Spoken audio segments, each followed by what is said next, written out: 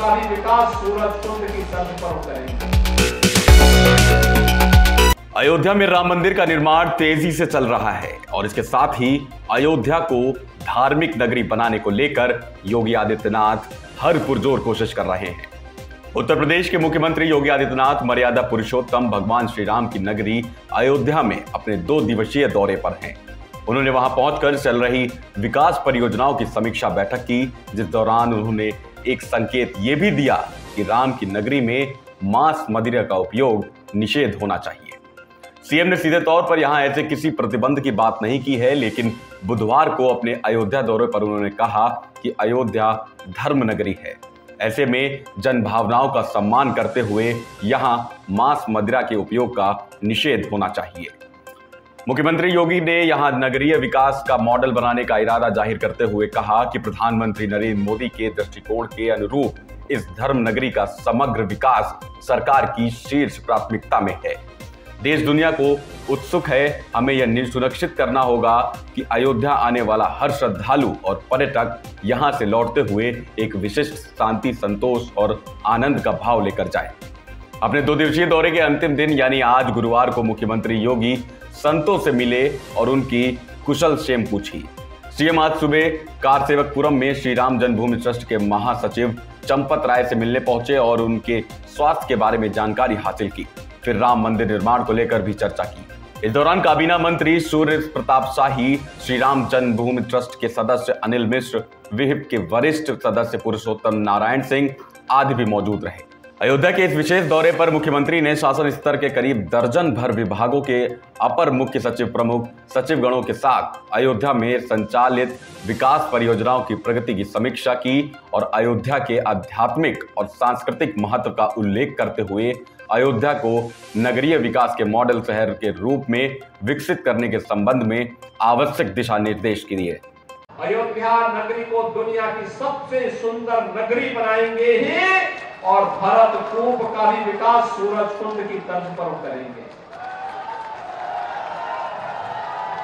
उसी प्रकार से महात्मा भरत के यहाँ साधना स्थली को लाइट एंड साउंड कार्यक्रम के माध्यम से प्रस्तुत करेंगे।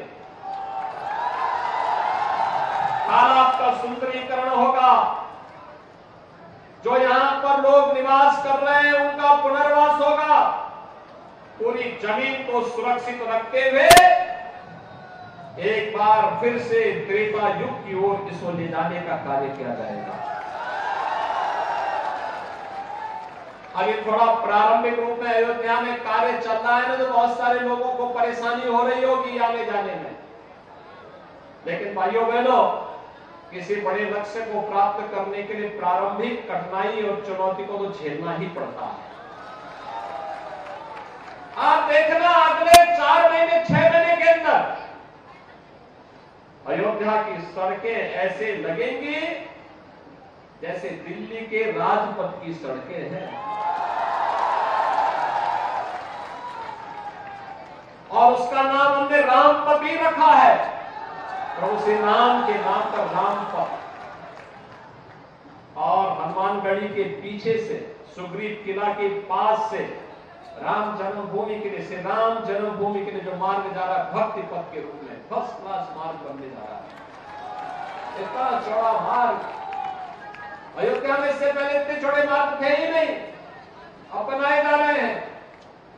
और भाइयों बहनों अगर अयोध्या के इन सभी कार्यों को पंचकोशी चौदह कोसी चौरासी कोसी, एक नया बाईपास रिंग रोड अन्य सभी कार्यों को देखेंगे। फ्लाईओवर बन रहे हैं। नए नए तरीके से घाटों का निर्माण हो रहा है। चिकित्सालयों का निर्माण हो रहा है। शिक्षा के केंद्रों के विकास के कार्यक्रम को आगे बढ़ाया जा रहा है।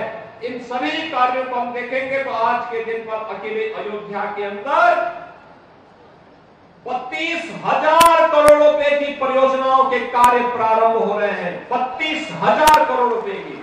भाइयों बहनों, जिस दिन बत्तीस हज़ार करोड़ रुपए की परियोजना के कार्य जमीनी धरातल पर उतरेंगे, अयोध्या दुनिया की सुंदरतम नगरी के रूप में रहेगी। और तब उस समय आप देखेंगे जब जनवरी में प्रधानमंत्री मोदी जी के कर कमलों से स्वयं रामलला 500 वर्षों के बाद अपने स्वयं के मंदिर में विराजमान होंगे तो भाइयों बहनों दुनिया अयोध्या की तरफ़ आकर्षित होगी, लाला